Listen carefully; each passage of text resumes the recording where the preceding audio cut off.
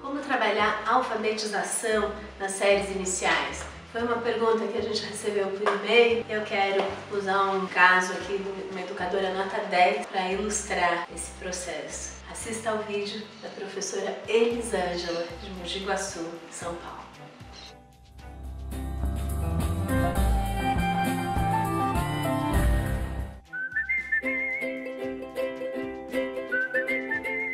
A ideia do trabalho é levar as crianças para espaços que não se restringiam ao espaço escolar, para que eles é, percebessem, né, entendessem a importância que tem a leitura e a escrita na sociedade. O meio que eu encontrei para tornar a aprendizagem da escrita e da leitura visível na sociedade foi eh, fazer essa conexão entre comunicação visual e trabalho de alfabetização. Eu não sabia escrever, não sabia ler. Visitei os comércios né, próximos à, à escola e foi aí que eu cheguei no sacolão. Não tinha muitas informações sobre as frutas e estavam muito feias as placas. Na nossa primeira visita no sacolão, as crianças levaram lápis e caderno e foram fazendo a lista dos produtos que tinham. BT, raba, BT, raba, raba, rabo? De volta né, para a escola, eu trabalhei com essas listas é, organizando atividades próprias de alfabetização. Propus para as crianças que a gente analisasse algumas placas, depois nós partimos para o trabalho de pesquisar as frutas, pesquisar os valores nutricionais, informações sobre as frutas. Esse material pesquisado ele ia para a sala de aula e a gente começou um trabalho com leitura e interpretação desse material para que as crianças pudessem chegar na escrita de uma frase. Essa frase oral produzida pelas crianças eram escritas por todos, né, em duplas produtivas, alguns escrevendo papéis e lápis e outras alfabeto móvel. Depois da escrita dessa frase, a gente trabalhava a revisão, não era uma escrita convencional, então a gente trabalhava a revisão ortográfica e de segmentação para chegar numa escrita convencional. Tem alguém que queira fazer alguma alteração na, na frase? Colocar o H e o O. Eu quero dar um espaço ali.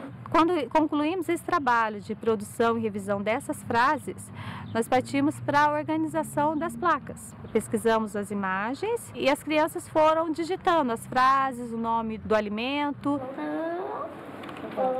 Olha, tá vermelho aqui. Por que será que tá vermelho aqui? A gente copiou tudo no computador da Pro e depois ela imprimiu e deu pra gente levar. Comunicação visual da loja melhorou bastante.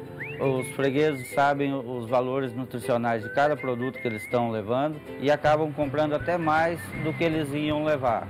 Eu aprendi a escrever, ler e, a, e descobrir as, as vitaminas das frutas. Aprendi a ler, escrever, montar frases, dar espaço, fazer autorização, um monte de coisas que eu não sabia antes. A interação entre alunos e comunidade facilitou a aprendizagem na medida em que as crianças foram percebendo que o que eles produziam seriam lidos por alguém, não ficaria apenas na sala de aula. Professora Elisângela trabalhou com o projeto Alfabetização e Comunicação Visual para alunos do primeiro ano. E o que, que ela fez? Foi exatamente uma aula passeio. A gente falou do Frenet, que levava as crianças para passear, o grande educador do século XX, que levava as crianças ah, para passear e para conhecer a realidade. Foi exatamente isso que a professora Elisângela fez. Ela saiu com os alunos da escola e foram até o sacolão. E lá no sacolão eles encontraram frutas, verduras, legumes e começaram a escrever, fazer uma lista de tudo que eles encontraram. E aí isso serviu de motivação para eles aprenderem a escrever o nome das frutas e dos legumes, né? Como é que escreve beterraba, como é que escreve batata, cenoura. E aí eles foram escrevendo foram corrigindo, voltaram para a escola, para a sala de aula, para a escola, fizeram uma pesquisa. Além de pesquisar como escrever do jeito certo, né? E aí todo o processo de alfabetização, eles pesquisaram também informações sobre os alimentos. Né? O que, que tem na beterraba, o que, que tem na cenoura, por que, que é importante consumir tais alimentos. E aí eles foram enriquecendo as placas do sacolão com mais informações. E aí o próximo passo foi elaborar as placas, o próprio texto escrito dos alunos e com os desenhos dos alunos né, junto com o computador, com o auxílio da professora, mas corrigindo, escrevendo e colocando uma placa levaram para o sacolão, né, para o dono do sacolão, de presente aquelas placas todas é, mais bonitas, mais arrumadas. E aquilo fez todo sentido, porque daí a leitura e a escrita deles, é, eles perceberam que tinha alguém que ia ler. Ele, o trabalho deles era importante ali para aquela para o bairro ali para as pessoas que frequentavam o sacolão o dono do sacolão fala melhorou muito as pessoas ficaram gostaram de ver as informações ficam mais gostaram das placas ficou muito mais bonito então esse é um projeto para a gente mostrar a importância de trabalhar a alfabetização no contexto, dando sentido, né? Por que, que eu vou aprender a ler? Eu vou aprender a ler para ver o mundo, para conseguir perceber o que está ao meu redor, o mundo que está ao meu redor. Essa é a grande, o grande objetivo da alfabetização.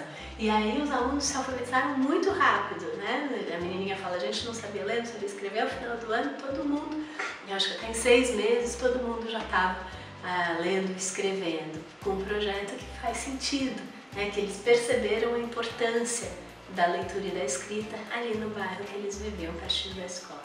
Então, projeto incrível, alfabetização e comunicação visual da professora Elisângela, de São Paulo.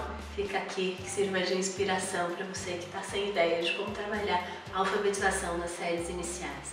Se você ainda não assistiu, tem vários outros casos, mais de 20 casos aí dos professores nota 10 comentados aqui no nosso canal. Assista e inspire-se para as aulas mais interessantes, para é, melhorar o seu jeito de ensinar e de aprender. Que a gente acredita que educar transforma.